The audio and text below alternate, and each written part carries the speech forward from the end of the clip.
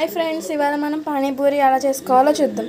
First మనం బిర్యానీ బఠానీ రాత్రంతా నానబెట్టుకో అంతా నానబెట్టుకున్న ఈ బఠానీని ఒక బంగాళదుంప వేసుకొని ఒక సెవెన్ ఎయిట్ విజిల్స్ రానివ్వాలి.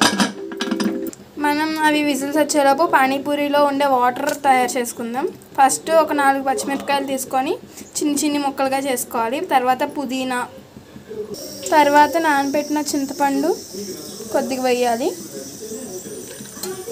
ఇప్పుడు దీంట్లో ఒక స్పూన్ రాక్ సాల్ట్ వేసుకోవాలి. రాక్ సాల్ట్ అనేది ఇదిగొండిలా ఉంటుంది. మీకు ఇది అవైలబుల్ లేకపోతే మామూలు సాల్ట్ అని యూస్ చేయొచ్చు. ఇలా మెత్తగా మిక్సీ పట్టుకున్న దాన్ని ఒక జార్లోకి తీసుకుందాం. ఇందులో కొద్దిగా సాల్ట్ వాటర్ యాడ్ చేసి అన్నీ సరిపోయినాయో లేదో టేస్ట్ చేసి పక్కన పెట్టేసి. ఇవిగోండి ఫ్రెండ్స్ ఇవి మనకి పానీ అదే పూరి చేసుకునే చిప్స్ అన్నమాట ఇవి. ఇవి ఇప్పుడు ఒకవైపు ఆయిల్ వేడి చేసుకోవాలి కుక్కర్ విజిల్స్ వచ్చేలోపు అందులో వేసుకొని బాగా వేపించుకోవాలి. ఇవిగోండి ఫ్రెండ్స్ ఇలా ఎగుతాయి. మనకి ఇవి రెడీమేడ్ చిప్స్ అన్నమాట. బయట షాప్స్లో అడిగితే దొరుకుతాయి మనకి. చూడండి ఎలా వస్తున్నాయో.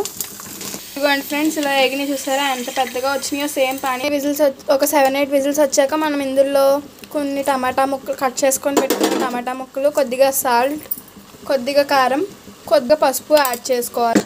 దీన్ని కొద్దిగా ఇలాగా పేస్ట్ చేసుకోవాలి ఫ్రెండ్స్. మీ దగ్గర పేస్ట్ చేసుకోవడానికి ఏదైనా ఉంటే పేస్ట్ చేసుకోండి.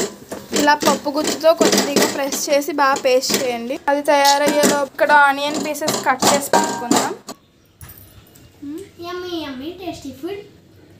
ఫ్రెండ్స్ ఇందులో కొద్దిగా కర్రీ ఒక స్పూన్ వాటర్ కొద్దిగా ఉల్లిపాయ ముక్కలు వేసుకొని